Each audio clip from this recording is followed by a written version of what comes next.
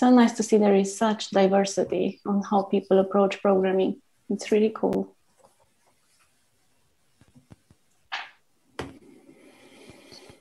Okay. I think it's uh, time to start now. So welcome everyone to the second week of the CodeRefinery workshop. I'm uh, Diana Iushan. I have been instructing part of the Git lessons uh, last week, and I will just be introducing the uh, lecturers of today. You may find the, the tentative schedule uh, for today at the very top of the HackMD document.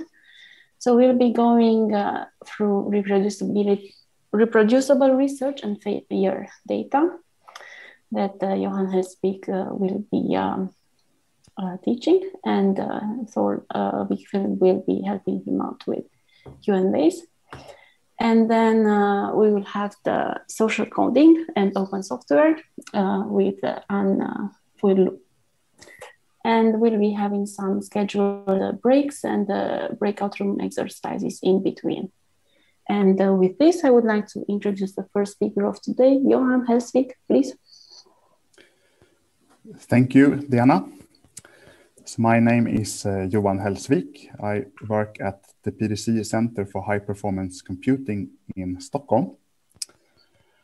And uh, I would like to start uh, today with uh, recapitulating a little bit what we did last week. So then we learned about version control with Git, motivation for version control, undoing changes, working with branches, and also experienced different workflows, so centralized workflows, and collaborative distributed workflows. So the week now, the second week of the workshop, will cover a number of different top topics. So today we will hear about um, um, software reproducibility and fair data, as well as uh, from 11 on social coding and open software.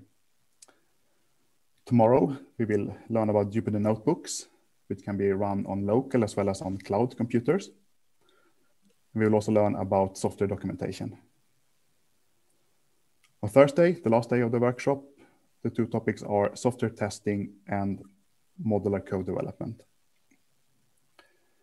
So for these lessons, we will make use of what we learned on version control with Git. So there, the topics are interconnected. So for reproducibility, version control obviously play an important role, as we will see, as regards versions of software, environment, and data. There's a bearing to documentation of software and indexing of data. Moreover, software testing is an enabler for reproducibility.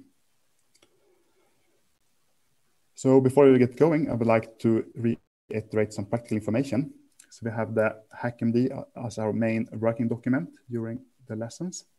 So you have the link in, in the in the chat. And please turn off your cameras when you are in the main Zoom room.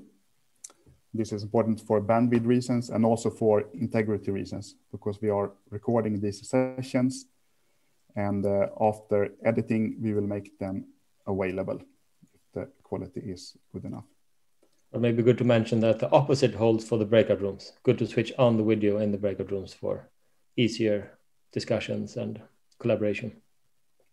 Yeah, thank you, too. That, that, that, that's a good point. And finally, we would like to, um, so to, to edit the videos to make them in shape so that they can be published. Uh, we, we would, would be happy to uh, invite people who are interested to assist with this. And uh, if you are interested, then please uh, get an account of Zulip and connect with us. So with this, um, I'm done with the introduction. So unless, is there something else we need to say at this point?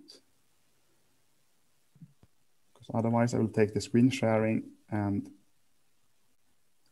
Maybe just remind that, uh, of course, we keep asking questions in HackMD. So keep the questions coming and we'll um, monitor the HackMD and try to answer as quickly as possible. Yeah, great.